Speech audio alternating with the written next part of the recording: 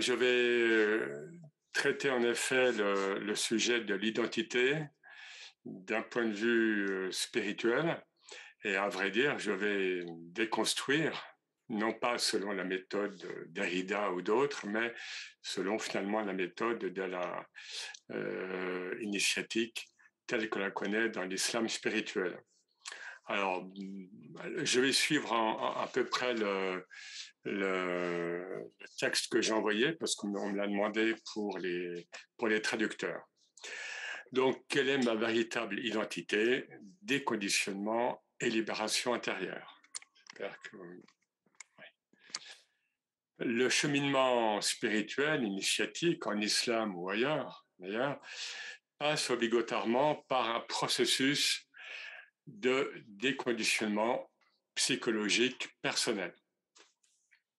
Donc on va aller, on va faire des allers-retours entre métaphysique euh, et, psychologie, on va dire. Il consiste à se désidentifier, à se débarrasser de toutes nos fausses identités. Nous en avons beaucoup, familiales, sociales, politiques, professionnelles et même religieuses.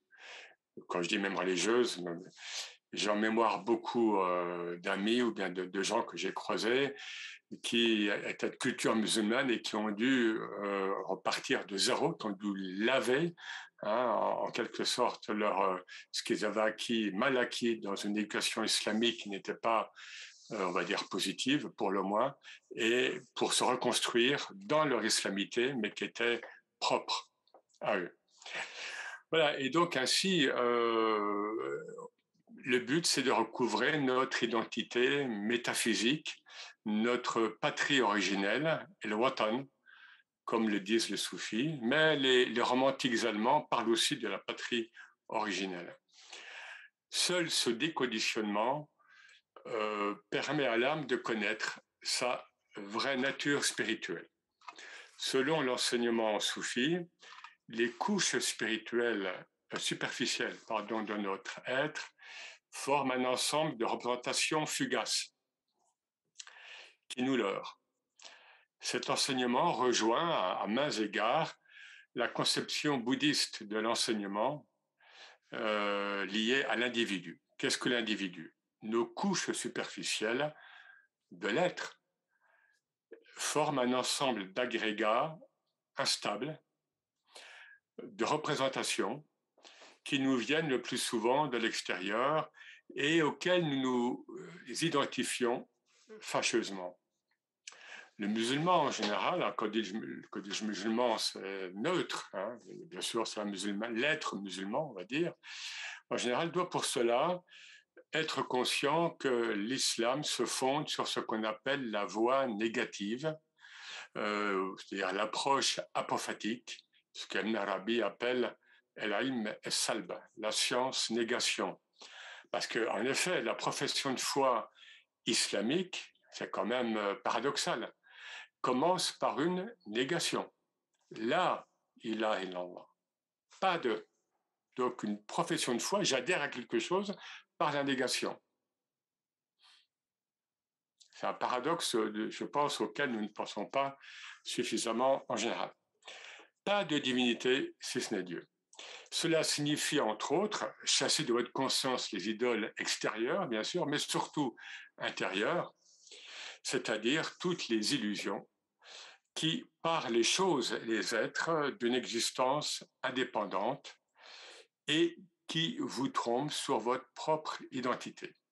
Et cela prend pied en, en l'être humain depuis la petite enfance par une accoutumance progressive à une vision subjective du monde et irréel d'un point de vue métaphysique.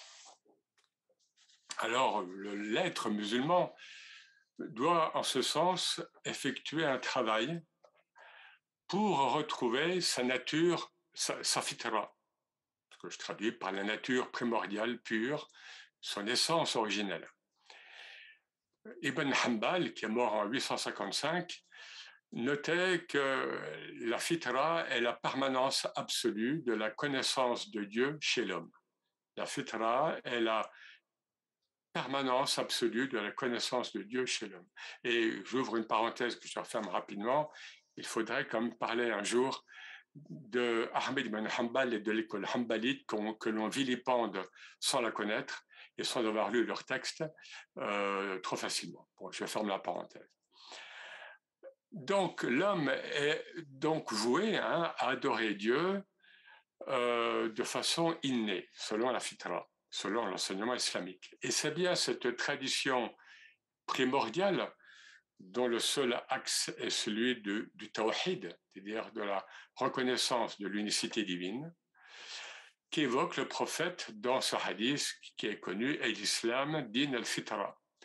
L'islam est la religion de la nature primordiale de l'être humain. Religion ultime dont la fonction est de réactualiser, on le sait bien, la religion originelle adamique ce qu'on appelle à plusieurs endroits dans le Coran, ce qui est appelé à plusieurs endroits dans le Coran, est din el-qayyim, la religion axiale.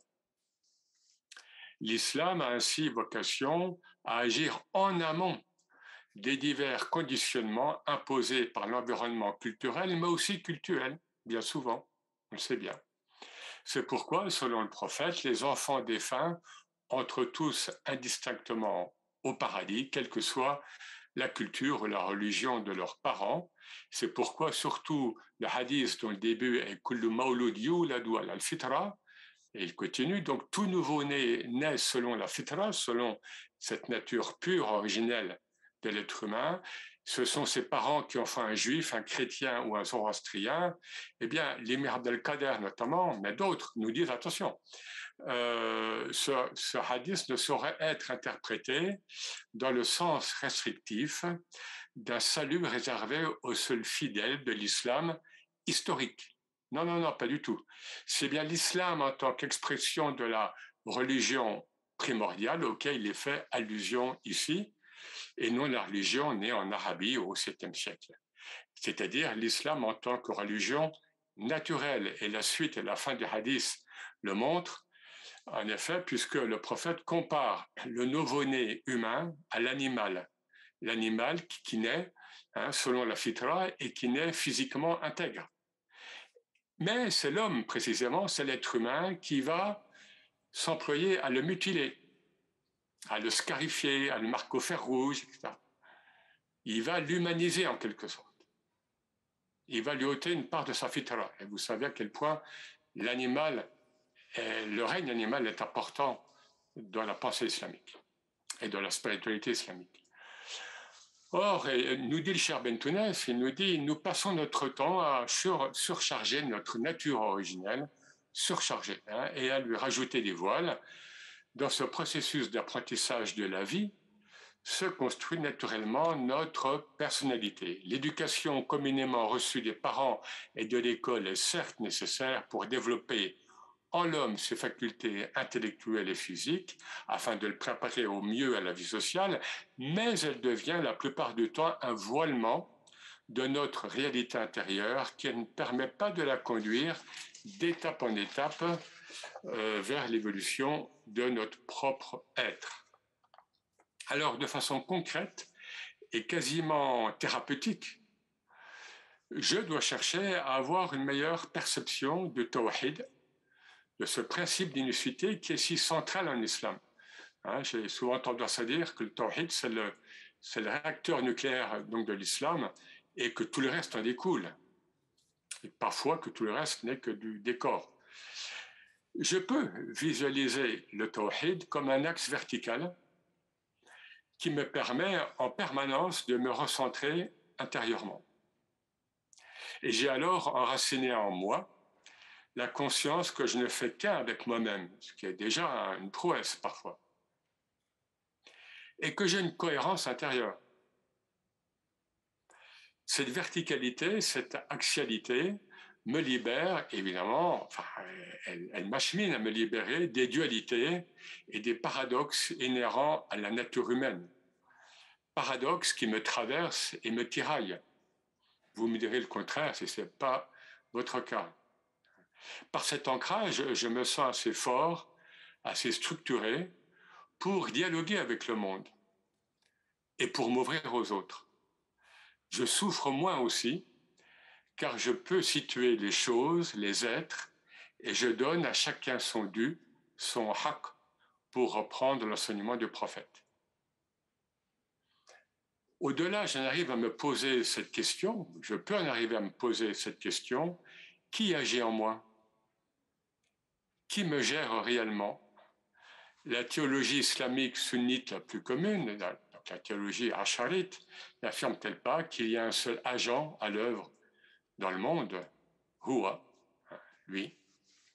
Mais c'est lui qui n'est pas euh, genré. bon c'est un autre débat. Et cela, en tous les cas, cette prise de conscience peut m'aider à lâcher prise.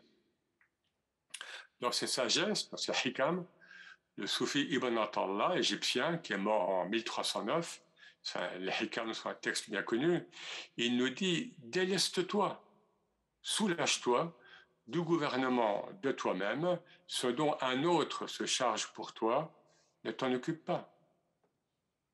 Parce que de toute façon, c'est pas toi qui t'en occupes réellement. Observer l'action de Dieu en moi, waouh! N'est-ce pas cette conscience qu'amène ce célèbre Hadith Qudsi, propos saint, Hadith Qudsi, vous savez, c'est parole de Dieu transmise par le prophète, mais d'un style très particulier qui ne fait pas partie du corpus coranique. Et une partie de ce hadith connu nous dit Mon serviteur ne cesse de se rapprocher de moi par des œuvres surérogatoires jusqu'à ce que je l'aime. Et quand je l'aime, je suis son ouïe par laquelle il entend, sa vue par laquelle il regarde, la main par laquelle il saisit et la, la jambe par laquelle il marche. On ne saurait être, on ne peut plus clair. Osons-nous envisager les questions que s'est posées en ce sens Jalaluddin Rumi, le grand poète persan qui a vécu et qui est mort à, Konya, il nous dit Qui est celui qui dans, mon oreille, entend mon chant? Qui est celui qui dans ma bouche dépose ces mots? Qui est celui qui dans mes yeux regarde vers l'extérieur? Quelle est cette âme dont on dirait que je suis l'habit? Alors là, intervient un phénomène spirituel, si, je puis dire, qui est appelé, c'est coranique, mais on va le voir de manière très allusive, est shahid, les témoins intérieurs. Les témoins intérieurs. Parce que finalement, l'important est de réaliser, enfin, de, oui, de réaliser le tarkik. Tarkik, c'est un terme qu'emploient certains soufis. Ils ne parlent pas de soufis d'ailleurs, parfois, notamment même l'Arabie. Le vrai enjeu de la conscience humaine, c'est tarkik, c'est-à-dire réaliser le réel. Parce que la plupart du temps, nous ne faisons que réaliser nos illusions. Vrai ou faux? Vous me direz le contraire si ce n'est pas votre cas. Et tarkik, c'est réaliser le réel, mais le réel, c'est le haq qui est un nom divin majeur. Donc, réaliser le réel un temps soit peu avant la mort physique, afin de jouir d'états post-mortem qui permettront à l'âme de continuer le processus de désillusion. Eh bien oui, la mort physique, vous le savez, n'étant qu'un intikal, ce n'est qu'un transfert. En soi, ce n'est pas un problème. Un outil cognitif existe pour cela, c'est Shahid, le témoin intérieur. Et là, il faut évoquer, alors le Coran, euh, comme c'est souvent le cas, quand il, évoque des, notions ou bien des personnages euh, subtils, quintessentiels, eh bien, il est très allusif. Et dans le verset 11-17, soit 11, verset 17, le verset nous donne, euh, il y a une ellipse, hein. celui auquel une preuve de son Seigneur a été donnée alors qu'un témoin intérieur le, reconnaît. shahidun minhu. Et les commentateurs, finalement, vont compléter le texte, en, commentaire, en, disant que là, il, ce n'est pas, ne complète pas le texte en, tant que tel, mais pour la compréhension humaine, celui auquel une preuve de son Seigneur a été donnée, peut-il rester dans le doute alors qu'un témoin, alors qu'un témoin intérieur le reconnaît, le lit, hein, yatluhu. De façon optimale, ce témoin, le shahid, est la trace qui se maintient dans le cœur à l'issue de l'expérience de la contemplation, el-mushahada, de la même racine que la shahada, le témoignage de foi. Vous voyez Alors, je ne sais pas, nous sommes censés être des grands témoins. Je ne sais pas, en tous les cas, nous essayons de témoigner euh, de la pertinence du témoignage intérieur.